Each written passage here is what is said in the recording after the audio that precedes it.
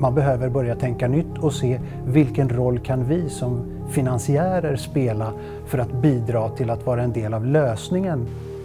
Det ska bidra till en bättre värld, ett bättre samhälle. Det finns ett väldigt stort engagemang och tack vare regeringens strategi så vill ju fler och fler vara med. För oss som en uh, stadsutvecklingsaktör är det väldigt viktigt att engagera oss i den här typen av arrangemang och frågor. Det intressanta med social innovation är ju att det är relevant för alla skulle man kunna säga. Det är social innovation för mig när vi kommer på olika saker som bidrar till de här, att lösa problemen.